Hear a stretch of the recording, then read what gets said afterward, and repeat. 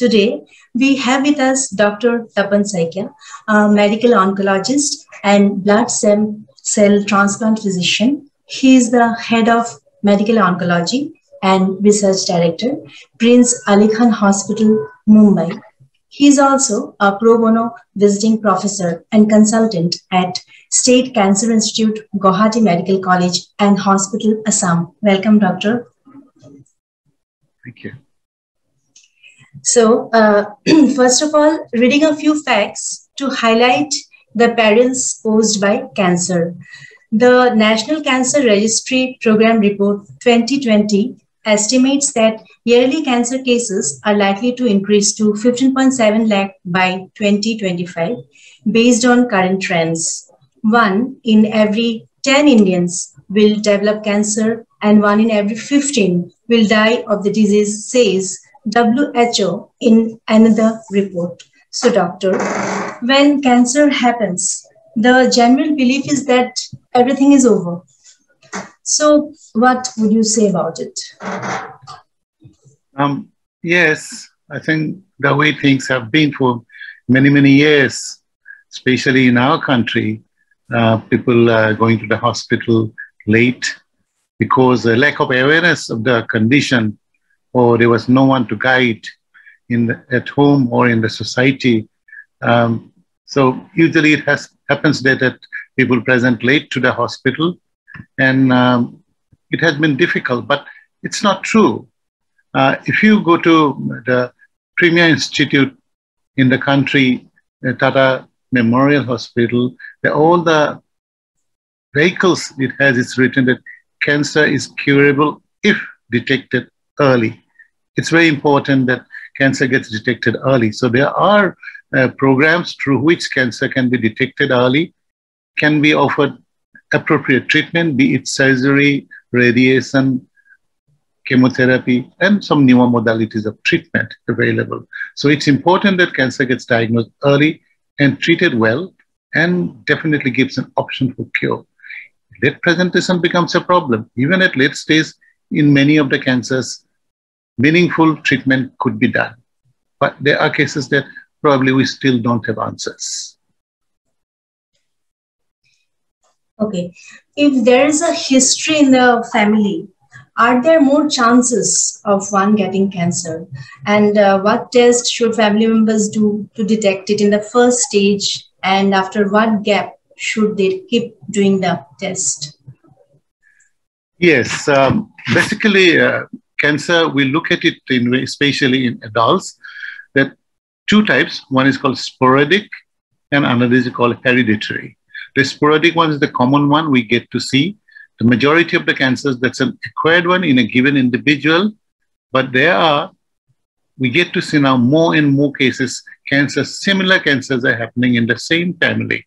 So there could be different cancers, something in the oral cavity or in the throat, but something else is happening other parts of the body, unrelated organs. That's usually not hereditary, but say two organs in the females, uh, breast and ovaries, and to some extent the colon, they are related. So they are, they could be hereditary, but the number is relatively small compared to the acquired or sporadic one. But we need to be uh, aware of it, uh, proper awareness of the condition for the doctors and the health caregivers, and they can understand that whether the disease is genetic or hereditary in a given individual or not. And then take it forward accordingly. Okay. So, what are the abnormalities that the body signals us that we should not avoid? Uh, there are many. Actually, uh, cancer can occur at any organs, from the top of the head to the tip of the toe. So, if something is developed in the brain, it will have a kind of different presentations. For example, a headache that doesn't go away, unexplained vomiting, unexplained weakness, coming down eyes, there can be vision problem. In the oral cavity or in the mouth, there an ulcer that has not healed up for months together. Throat, there can be change in the voice.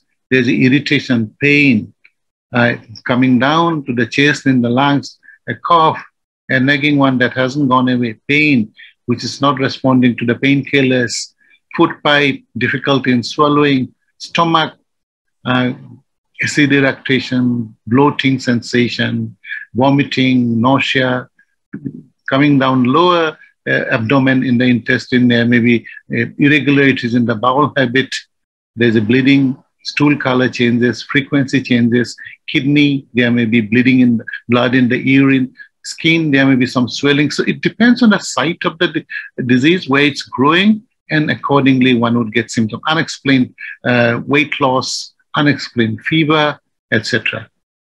Plenty of plenty of uh, signs and symptoms. Okay.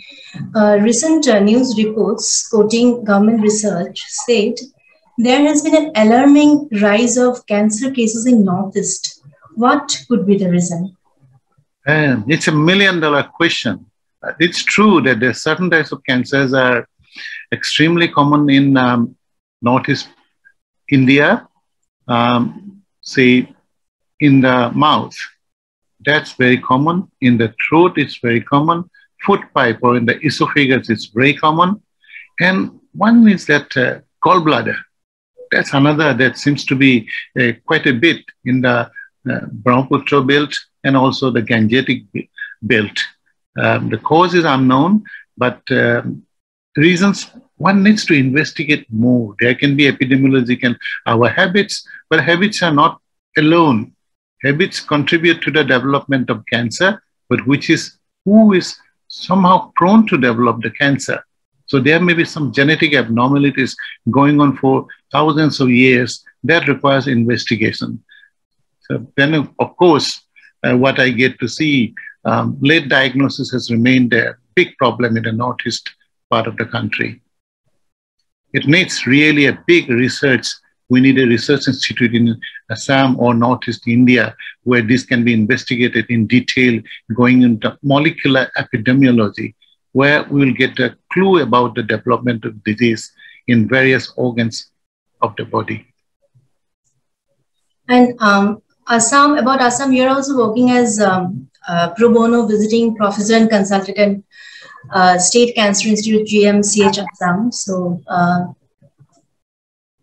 yes, it's a recent phenomenon. Mm-hmm. Um, there was a request from the government of Assam that uh, uh, would you like to give give us some time. I immediately agreed. Mm-hmm. This is one thing that I always dreamt of, uh, somehow getting involved in an official way. Uh, I keep doing my camps for years and years now in Assam. I keep going to that, following up cases, giving them some advice, but this probably uh, a more intimate relationship. Uh, the idea is clear that hundreds of patients come out of Assam to go to different parts of the country, starting from Kolkata, Delhi, Chandigarh, then Rajasthan, Mumbai, Gujarat, Bangalore, Vellore, Hyderabad. You just name it, people keep going. Probably there's no need to go. So if people realize that a good treatment is available in Assam, across Assam, and there are programs coming up, beautiful programs that have kind of hub and spoke model coming up in Assam, and it uh, looks like it's going to be a successful one. People will have trust. People will understand that cancer can be treated very well sitting at home, traveling only about 50 miles a day or even less than that, and you can get investigated, treated well, keep going for follow-ups year after year. So, uh, Doctor, how will you explain blood stem cell transplant to a layman? It takes time. It takes time. It's uh, um, when you talk to people, uh, not only the people, those who are people of science, but even to the doctors, it's extremely difficult. Mm-hmm. There was a time when I used to give talks, 80s, go to a meeting and talk about transplant for one hour. At the end of one day, there used to be one question what is the cost for one transplant? So people were, you know, it was difficult for them to understand some right question. So we take time. We sit down with people over multiple sittings. What is it? What do you, why do you do? In what conditions? How we get the stem cells? How it benefits? What might be the side effects of the treatment? What might be the outcome? what kind of commitment they require, financial, regular follow-ups. So it takes time. We need to sit down, Sometimes we show them videos. we sometimes we get some patients who had undergone the procedure because they are in a, they are in a better position to explain to the patients and their families who is the, who would undergo a transplant. the one who has gone, gone through it, and they, they just they're very truthful. They tell. So we multiple ways we just go on counsel the patients. Uh, we do as doctors, nurses do it.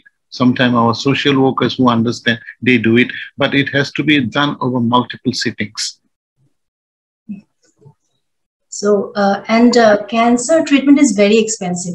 Poor and middle class families find it very difficult to continue the treatment even. So, where they, they can get help? Uh, again, it's again million dollar question because uh, health is a state uh, subject. We know that, and the states are coming forward now, and that that's a healthy thing I get to see that certain states in the country they have come forward. For example, Assam, I get to see that that um, government is um, proactive, coming forward and uh, beginning to help.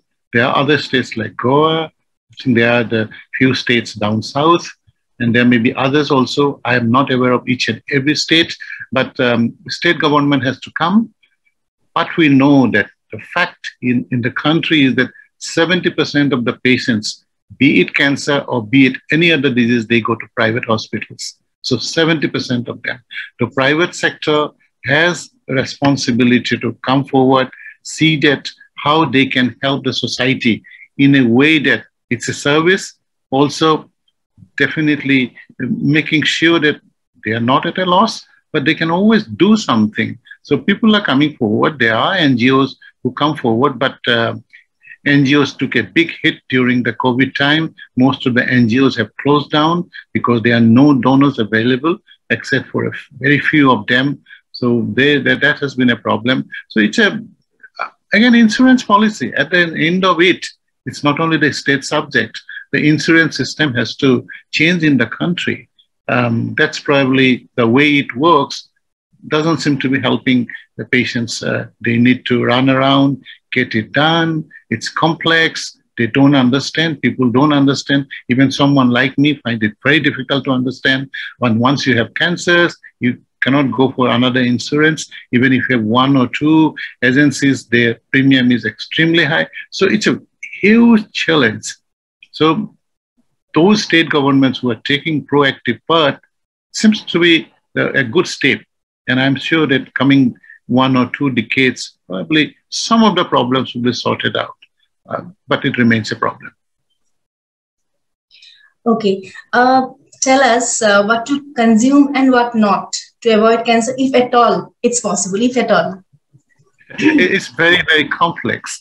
Um, um, in early in my career, in early 80s, I got into um, food and cancer, mainly of the food pipe esophagus.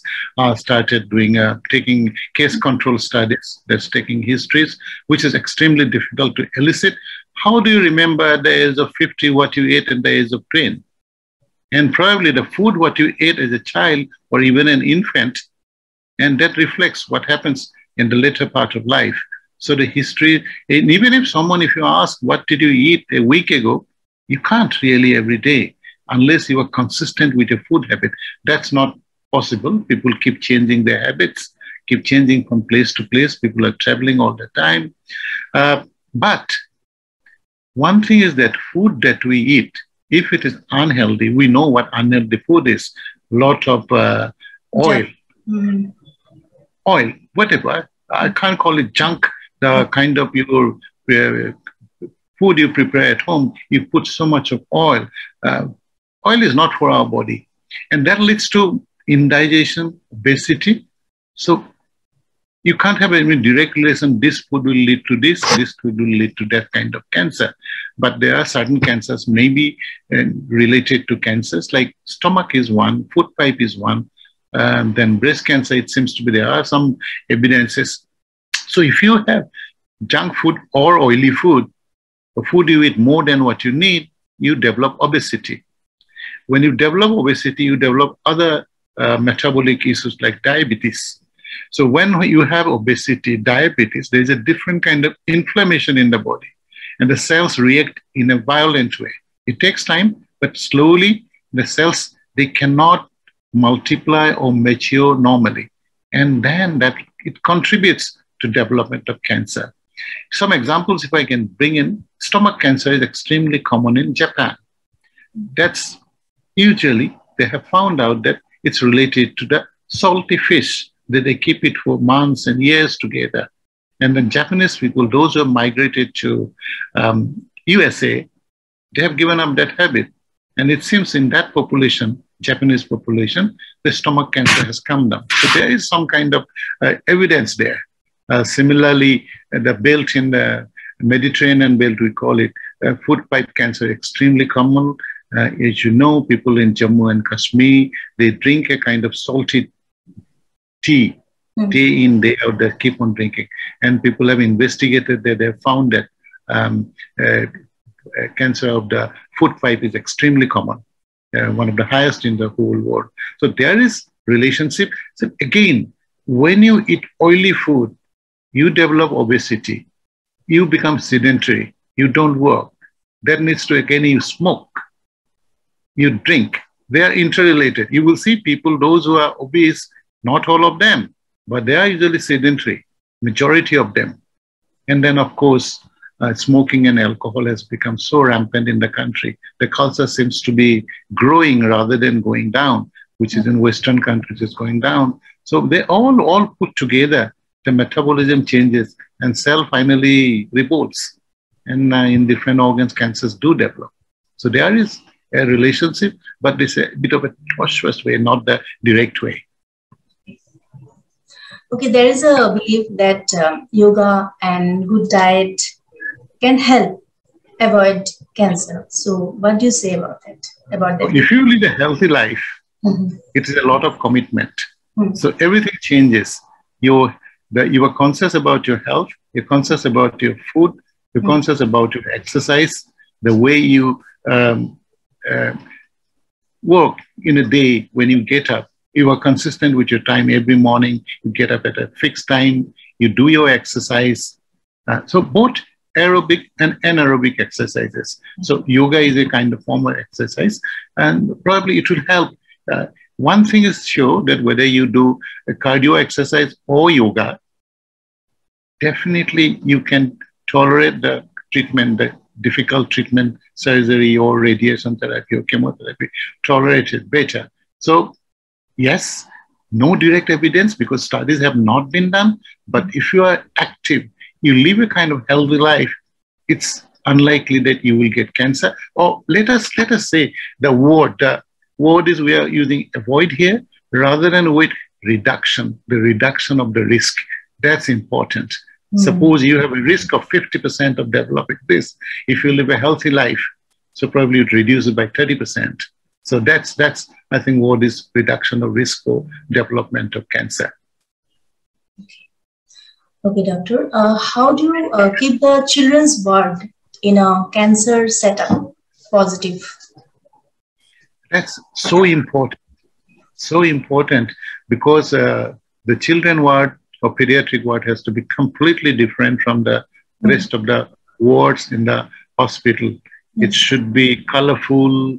There should be uh, artwork. There should be toys which will not uh, be injurious to the child. And child should feel like that they're away from home, but at home, away from home. I've yeah. seen that in countries while visiting different places. So beautifully, the children hospital or children ward. Um, some of the centers in the country trying to develop that. That's a very, very good sign. But it has to be in every hospital because um, a, a child with cancer is extremely difficult. Treatment is not short, goes on over a few months to a couple of years and going back to the hospital, getting admitted, getting difficult treatment. Um, so there, an ambience has to be uh, produced there to a child. The child is always scared because every day we are poking the child uh, to draw the blood, we are doing bone marrows, we are doing surgeries, we are giving chemotherapy. But the child grows very fast. What I have seen that if you get a two-year-old child we cannot speak, six months or nine months down the line, and the child starts speaking, most of them have become positive. They know blood count is to be done, but that needs so much of commitment. And I'm also concerned about the mother of the child. If you see, go to the hospital, you will see um, it's a mother. If child is admitted for a month, the mother has not slept for the whole month. 24 by 7. So we need to be uh, aware of the mother's health as well. Fathers also do it, but fathers has to do other work because who will get the um, food, medicine, run around, etc. So it's a whole family. Uh, but in the hospital, we need a different ambience for kids. And uh, you already said this, but how difficult it is to manage the families of uh, patients and uh, how do you counsel them? We are learning. I think I'm still learning how mm-hmm. to really talk to people. I think it's about uh, talk. Um, usually, um, when people come to the hospital, the patient, we keep talking to the patients. But I have realized that it's more important to have eye contact and understand the body language of the relatives because the patient often, majority of them, they just surrender. They would say that, doctor, um, you do what you want to do, you give me treatment, I just want to get better. The family, they want to know the whole intricacies of diagnosis, treatment, follow up.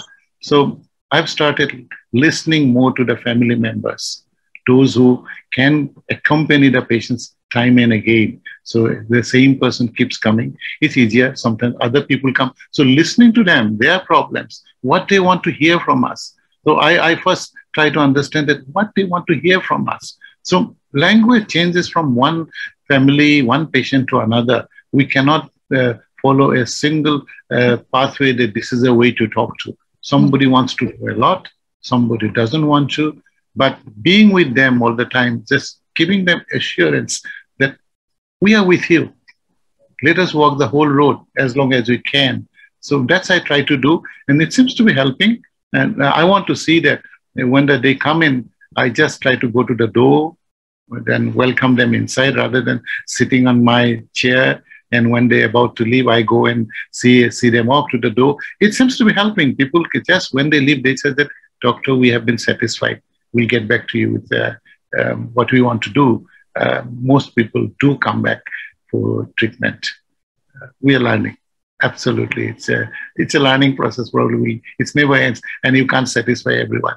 Yes, and uh, when you reveal the disease to the patients, what do you say? I mean, it's very difficult to boost them to give it a tough fight. Yes, the first is that there are some relations they don't want patients to know about it. They come to a cancer hospital, still they tell them, don't tell him that he or she has cancer. Don't tell my mother has cancer. Uh, it makes life very difficult for us. Yes. Because we can't talk what we wish to. But now most people do know that they do have the disease. Uh, so it depends. Depends from case to case again. If someone has a uh, curable disease, it's much easier to talk. If someone has a disease which treatment is complicated, one will need surgery, radiation, chemotherapy, new biological drugs. I, I take my own time, giving them time. The step by step we talk, try to understand. If very advanced cases come, things become more difficult. So that whether to tell the patients, how do you take? So the words we choose uh, seems to be really, really important. Uh, we just can't tell what comes to our mind. Uh, we try to use words which will be acceptable to the patient and families. Um, it's, it's, people do accept it. And there are people that very small number of people, the doctor, be frank, what time do I have? Um, even the early stage, people do ask, it's easier to talk to them. But very advanced cases, um, it takes a lot uh, out of us to talk. But uh, it's our job that we have taken up in our life. So we do handle it. Um, does it bother us? Well, it does bother us. When we come back home, we might have left the hospital physically, but mentally, mind goes back to each and every patient. Uh, but someone has to handle it. Yes. So trying to handle it. This is the problem for medical oncologists, mainly someone like us. If you go to Western United States of America, um, the burnout seems to be the highest among the medical oncologists. Psychological problem, depression, leaving the job of oncology, going away seems to be a problem because once you're with a one patient, the patient stays with you for lifelong. That's with medical oncologists, not with surgeons. not with radiation oncologists. Often it's a one-time job for them. Yes, my next question was that only. Uh, your job, an oncologist's job is very, very difficult. Sometimes you have to give hope against hope. So how do you manage to keep yourself positive? got got to think a lot of things. You know, that's uh, um, when you are trying to help someone, you have to think about that person first. Then, of course, um, the families, because uh, um, a young person develops cancer, young children. So a lot of things come to mind. That one, uh, you just think about it, and the mind really becomes positive. Talk about it. Then, of course, we are all human beings. Like we are, we we are, we are working for our uh, uh, food and shelter. So you think about the family members as well. We all do it. Let's be honest about it. So that, well, I need to keep my family going. So that that also is a kind of, you know, that uh, push comes that, all right, so that I can't, I have to, I need to have patience. I need to work for this period of time. Uh, so uh, then, of course, I do one thing that I'm getting older. Uh, soon I will touch 70. So how long can I work in a day in a manner where I know that I'm doing a right job? So one needs to cut down. A young person, when you are 25, 30, up to about 45, you can work 24 by 7. That's also very difficult, but you can work for extended hours. At ours, we need someone to help us. So that's what I try to do, that we develop a team so that when I leave hospital, someone takes over. So it's a teamwork, and teamwork has really helped because young people are enthusiastic. They have a full career ahead of them. So it's a, it's a mix of things. It's not that one thing drives you. The many things do drive you. So that another, the satisfaction that you get that you have done this much incentive, the more you work, probably in private practice, you get a little bit more money, a lot of money also. It varies from individual. Let's put everything together very honestly. How people become, you know, uh, positive about working. Mm. These, are all factors. They work together. Mm. Okay. Uh, thank you so much for taking out time from your tight schedule and giving such important insights. I'm sure this would be of so much help and boost the confidence of hundreds of families fighting a long mental and physical battle against the disease. Doctor, do take very, very good care of yourself. We need more, more people like you. Thank you. Thank you, Kakoli. Thank you, Kakoli. Good to see you again. Yes. Keep up your work. You are trying to help the society through these videos, and it's a beautiful work that you are doing.